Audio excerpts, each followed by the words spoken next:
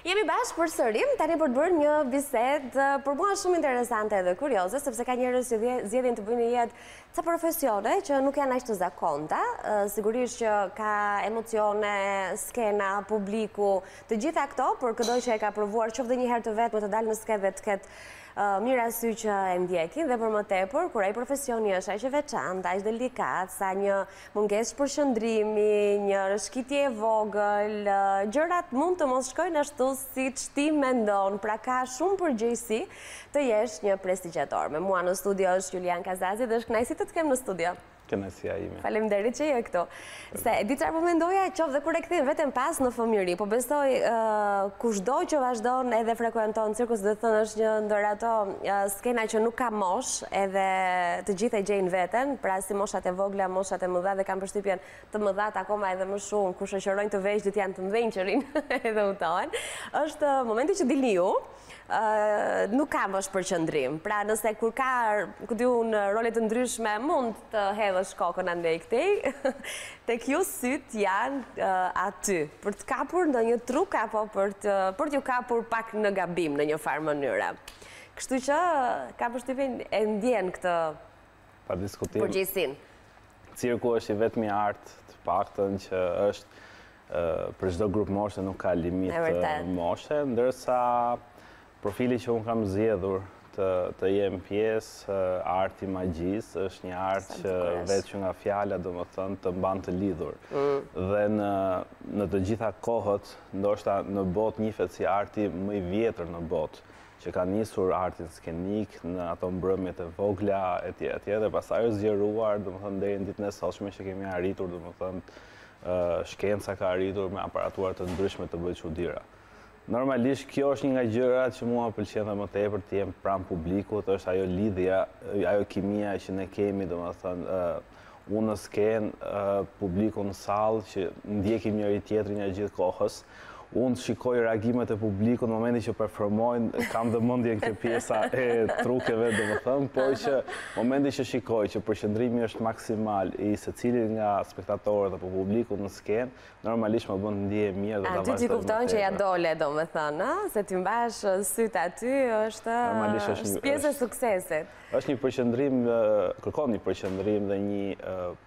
punë përgatitore goxha të gjatë, sepse normalisht nuk kemi të bëjmë po them me prezantimin e një numri ë që ka të bëjë në lidhje me lëvizjen e trupit apo një akrobacie të ndryshme etj. Arti i magjisë është ka disa disiplina të ndryshme që janë disa truke që janë të vështira dhe për një gabim shumë të vogël arrin të dështosh shumë kollaj. Mm, po pra. Kështu që prandaj është përgjegjësi shumë e madhe. Risku është shumë i lartë. Tani, më, më trego pak, pse, pse e ke zgjedhur? Do lidhet me fëmijërinë edhe kjo gjë me ty, si, si ka filluar? Si është kthyer në, në, në atë që ti bën sot? Si, si punë në fund, apo jo? Ja? Po, mm. pa diskutim. Uh, Faktikisht lidhja ime familjare me cirkun ka qenë e hershme. Xhaja im ka qenë një nga mjeshtrat e ajrit të cirkut kombëtar, një nga themeluesit që kanë qenë pjesë e cirkut shqiptar që ka lënë gjurmë jo vetëm në Tiranë, por në gjithë Shqipërinë, në çdo cep që unë kam qenë dhe në momentin që ndigjojnë mbiemrin më afrohen dhe më pyesin direkt për Xhajën. Dhe normalisht, domethënë, kjo është një kënaqësi e parë, domethënë që unë sot e ndjej nëpër publik të cilën jam kudo. Pa diskutim, flasim përgjithmonë për atë grupmoshë të cilën e kanë ndjekur cirkun nëpër çdo fshat të Shqipërisë. Normalisht, po them, brezi i ri sot, i mungon arti i cirkut nëpër qytete të ndryshme. Sepse normalisht, si institucion, Ne duhet të lëvizim në të gjithë Shqipërinë, sepse ne jemi institucion kombëtar. Normalisht politikat e ndryshme nuk kanë bërë të mundur dhe buxhetet e fondet e ndryshme apo edhe dëshira e mirë e institucioneve të cilët duan të japin dhe të zhvillojnë arte të ndryshme për publikun e vet, për qytetarët e vet, normalisht ka qenë pak e vakët për artin e cirkut. Dhe kjo ka bërë të mundur që arti i cirkut sot mos përqafohet nga shumë fmij. Ndërkohë që është më i dashuri i mundshëm, të jemi të sinqertë. Normalisht është një nga artet që realisht të mban të lidhur, se është dhe art dhe sport, dhe i ka të gjitha bashkë ndërlidhura. Nëse sot shikojmë nëpërmjet po them televizionit cirkun e diellit që shkëlqen në të gjitha shfaqjet e premierat e saj, shkëlqen për shkak të menaxhimit të mirë sepse ka të ndërthurur artin e cirkut, ka të ndërthurur baletin, ka ndërthurur aktrimin, çdo lloj të mundshme aksesori që ka të nevojshëm një art të zhvillohet i ka ai produksion, domethënë se është privat. Dhe normalisht Të paktën një cirk kombëtar apo ne si pjesë e cirkut kombëtar kemi dashur dhe kemi ruajtur gjithmonë traditën. Shumë pak vende të botës sot shumë të fuqishme sesa Shqipëria e kanë artin e cirkut tradicional siç e kemi ne. Po, në fakt ne kemi goxha histori. Sepse shumica e Europës ka dalë në kontemporane, diçka shumë të lehtë, diçka shumë të kollajt për të zhvilluar dhe për të bërë. Më shumë argëtuese sesa një art i mirëfilltë. Drejt. Ne kemi e, mbajtur, ruajtur, domethënë artin tradicional të cirkut dhe shpresojmë ta mbajmë përsëri dhe të vazhdojmë traditën. Mbajtur dhe me shumë sakrifica, duhet thënë. Pa diskutim që po. ë, Fjali të cilat ë, vit pas viti, dekadë pas dekade janë Problem pas përmendur problemi. e, nga nga artistët dhe nga Nga stafi që me shumë sforco në ato palestrat e vjetra stërviteshin dhe në skenë dilnin me atë super buzëqeshjen gjigande sikur gjithçka shkonte perfekt ama asnjëherë nuk është lexuar në sytë e publikut e gjithë lodhja, sakrifica dhe kushtet e vështira që artistët e cirkut janë përgatitur ndër vite por është ajo, është pasioni dhe është dashuria e madhe për të mos e përcjellë dhe për të mos i munguar publikut në asnjë mënyrë Gjë që ju do ta bëni edhe gjatë sezonit të verës, sepse para se të fillonim po më thoje që Cirku do të bëjë po. një rrugëtim apo jo veror. Normalisht mhm. gjithmonë gjatë periudhës verore ne jemi pjesë e turizmit veror. Normalisht Shqipëria çdo vit më tepër po fillon dhe po pret një turizëm shumë të madh dhe pse jo të mungonte arti, cirku nëpër këto qytete bregdetare, por edhe jo vetëm. Gjatë korrikut, gushtit, shtatorit, cirku do të jetë në të gjithë Shqipërinë në disa qytete të ndryshme, ku do ketë shfaqje të improvizuara më të përshtatura në ambiente të ndryshme në terren, për të qenë pjesë argëtuse nëpër këta pushues vendas dhe të huaj. Oke, pra në një farë mënyre ajo tradita ku cirku shkonte, Po, por është diçka më e vogël për shkak edhe të infrastrukturës, edhe të fondeve dhe shumë gjëra të tjera. Të zhvendosësh cirkun do, aha, do, e para do një punë të llogaritur shumë e shumë muaj përpara, po do dhe ca kushte shumë, do terren, do pajisjet me vete dhe gjithçka tjetër. Kërkon dhe një staf shumë të madh mbështetës, po, sepse normalisht Mbështetës si fizikisht edhe financiarisht. Si çdo produksion, nuk e bëjmë dot dy veta. Po, jo, jo. As emisionin, pa pjesën e teknikës. I kthehemi pak fillimeve të tua, sepse nise të thoje që në një farë mënyre, pra që ka qenë pjesë e syve të tu, e fëmijërisë tënde dhe mbiemri të ka shoqëruar me atë idenë që vjen nga një familje artistësh. Dhe më pas, kur fillove të Të angazhoheshe? Unë kam filluar në moshën 4 vjeçare në artin e cirkut. Në çfarë ke nisur, në çfarë loje? Në fillim fare, pata vetëm, jo, ajo është impakti i parë të cilën unë domethënë thjesht ndjeva atë aromën e skenës dhe thjesht domethënë ishte dëshira, por që normalisht mosha 4 vjeçare është shumë e vogël për të filluar cirkun. Më pas jam rikthyer rreth... klasës së katërt, diçka e tillë, që kam filluar angazhimin tim në cirk. Pastaj kam vazhduar herë pas here me shkëputje, po asnjëherë nuk jam shkëputur dot 100% nga cirku. Gjithmonë më ka mbajtur diçka lidhur për cilën unë jam rikthyer. Më me, me faza pushimi dhe uh, sot po bëj rreth uh, 15-16 vjet që unë nuk jam shkëputur uh, cirkut dhe artit të saj. Normalisht kënaqësia ime apo e çdo artisti nuk është, po them vetëm ai programacioni i jetës artistike në skenën e cirkut, por që gjithmonë kemi dashur dhe nevoja për të dalë në skenë përpara publikut na ka bërë të mundur që të dalim në çdo aktivitet të mundshëm për të qenë sa më pranë publikut, për ta nxitur më tepër angazhimin me artin e magjisë, të flas edhe artin e cirkut.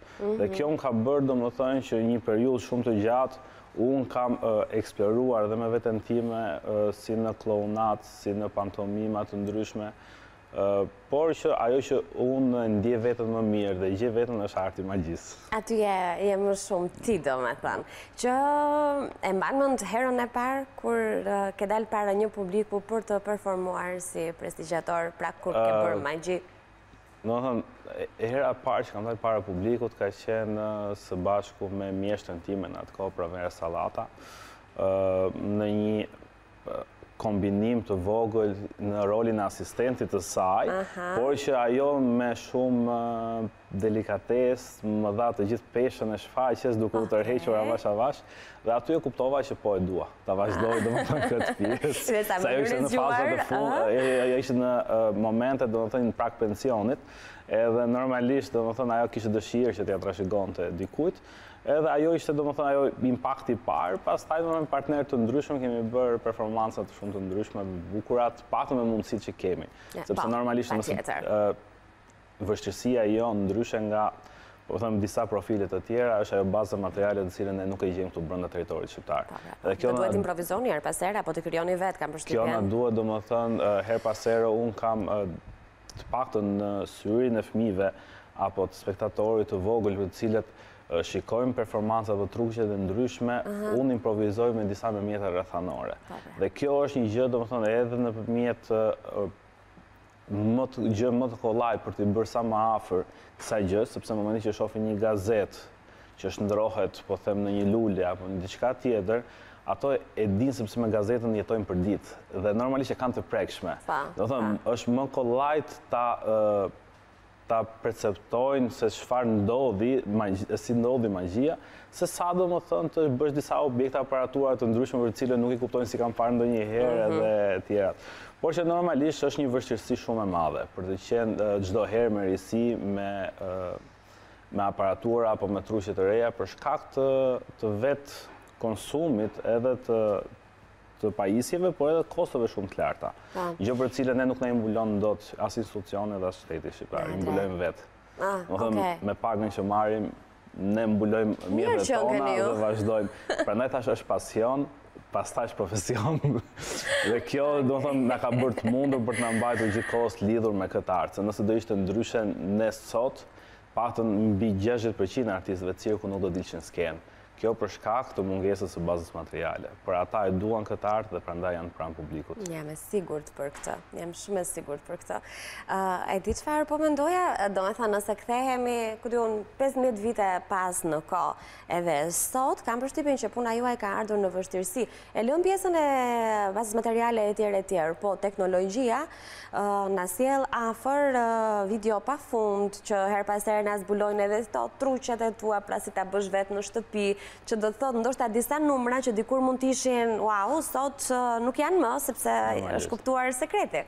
Normalisht, ajo ka nisur që në vitet 90, faktikisht, me magjistarin, domethënë, me maskë që njihet, domethënë, në gjuhë popullore nga shumë të rinj, i cili filloi edhe pati një një revolucion në atë kohë në vitet nëntëdhjetë për të cilën shumë prej anëtarëve të, të klubeve të magjisë apo akademive magjike patën një lloj reagimi shumë të egër dhe të ashpër ndaj tij, mhm. që filloi duke treguar dhe duke nxjerrë sekretet, mhm. e aparaturave, apo numrat e ndryshme. Gjë që nuk është korrekte, apo jo, sepse... Ah? Jo, unë do të thoja, unë kam një pikëpamje tjetër.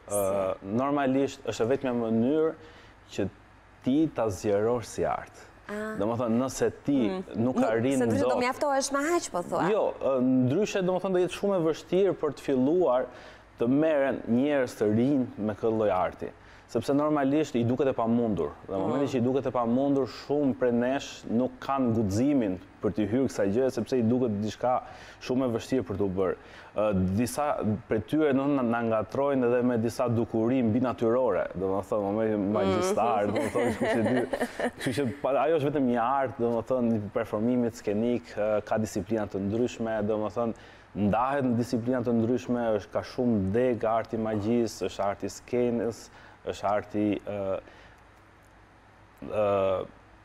arti i dhomave të ndryshme, mhm, arti mhm. regjistrimit, është arti i televizionit, domethënë, magjira të ndryshme, domethënë, i ka të gjitha të ndara, secilën, domethënë, magjia e zhdukjes, është mate, mati, magjimatika, është një prap një term tjetër, shumë i ri te cilët ka ardhur, që është një ndërthurje midis magjisë dhe matematikës, mhm. ka shumë të ndryshme, degë të ndryshme, për të cilën normalisht ne nuk i njohim, Dhe unë normalisht më ka bërë të jem pjesë në në literatura të ndryshme të lexoj mbi artin e magjisë dhe normalisht të paktën si Shqipëri kemi një lloj mangësie shumë në literaturën e paktën e këtyre disa arteve të, të ndryshme. Mhm, dhe mhm. kjo për mendimin tim për të dalur ke publikimi i këtyre truqeve, besoj që është një nxitje shumë e mirë për shumë të rinj që ndryshe ta kalojnë kohën, sepse është i vetmi art që nuk është se e mëson dot vetëm se e pe një video, duhet të bësh shumë ushtrime për ta mësuar praktikë dhe kjo të bën të mbaj të mban të lidhur. Duke qenë se unë kam kaluar shumë po them nxënës në duart e mia, të paktën në në këtë art, normalisht Disa prej tyre flenin, domethënë me objektet poshtë jastëkut. Disa prej tyre normalisht arti i tavolinës është ai arti i letrave, i kartave, për të cilën shumë prej këtyre fëmijëve normalisht e nisin nga letrat sepse i duket shumë e kollajtë, por ajo është gjëja më e vështirë, të paktën në pjesën e përqendrimit dhe në pjesën e praktikës. Dhe shumë prej tyre në grupmosha të ndryshme, pesëmbëdhjetë, katërmbëdhjetë vjeçare, gjashtëmbëdhjetë vjeçare, normalisht momentin që mbajnë nëpër çanta nga dy-tre pako letra, zyshat ia marrin, domethënë prindërit ia marrin se i duket domethënë diçka tjetër dhe nuk duan. Por ajo është një art në vete që normalisht kërkon vullnet, punë. Më mirë të merresh dy tre orë në ditë për të mësuar truke me letra se sa të merresh dy tre orë në ditë për t'i harxhuar, domethënë në rrjetet sociale, të cilat nuk të sjell asnjë lloj benefiti, përkundrazi, harxhon shumë nga vetja jote. Dhe kam përshtypjen që të shkathtëson edhe nga duart dhe nga mendja, sepse mendja është në punë për të për të kaluar edhe këtë etapën e radhës. Kush është pika më e fortë e jotja? Çfarë quan kështu si më e di që aty do ketë reagim publiku apo mm? Pika më e fortë. Një nga gjërat që unë me të vërtet po them mund ta quaj si pikë më të fortë në lidhjen me spektatorin apo me publikun, është pjesa e komunikimit të bërjes për vete në këto pjesën e daljes time në skenë. Dhe besoj, ajo është impakti i parë që unë them po ia dola. Mhm. Nëse unë shikoj që një publik, po them, kam 100% të, të përqendrimit të tyre kundrejt asaj çfarë unë do bëj dhe me komunikimin tim për t'i thithur ndaj kësaj gjës të performimit, të artëve e tjera e tjera, i kam sytë dhe vëmendjen të presin çfarë do ndodhi, ajo besoj është një nga pikat më të forta, domethënë të zhvillimit apo të fillimit të performimit. Mhm.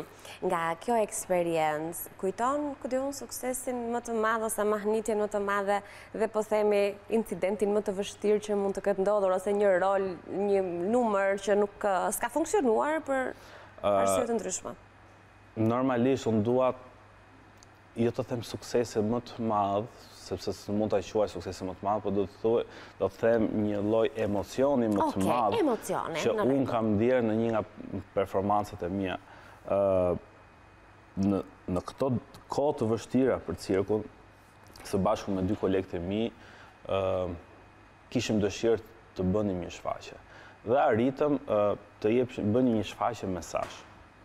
në lidhje me historinë e cirkut, mhm. me lindjen e cirkut shqiptar, ngritjen e cirkut, shkëlqimin e cirkut shqiptar, rënien dhe ringritjen.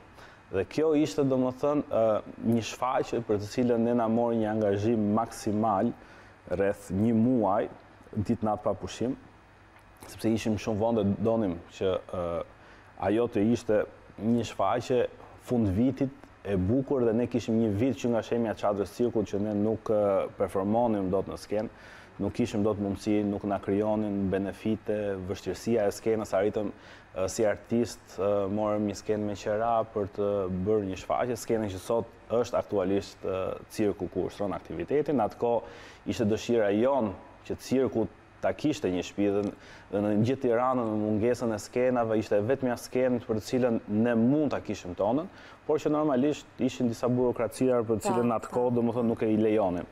Dhe normalisht ë nga dëshira për të bërë diçka për po them edhe një mesazh për cirkun në të gjithë atë pjesën e shfaqjes, mesazhin që ishte shfaqje gjatë performancës edhe po them ë të magjisë të prestigjatorit të cilën unë e kisha, performanca është ajo numri i ngrirjes me mm. vajzën Mari, foto që e po, kam në foto, po, dhe po. regjisë, për të cilën normalisht publiku e, e priti shumë mirë, sepse efekte të ndryshme që ishin si të ndriçimit, si të audio, si të tymit, krijuan një gjendje, domethënë që të vërtet çfarë duhet në këto numra. Ajo ishte një aktivitet, po them një shfaqje private, jo shtetërore, por që impaktin e kishte shumë më të madh, domethënë sesa një aktivitet privat.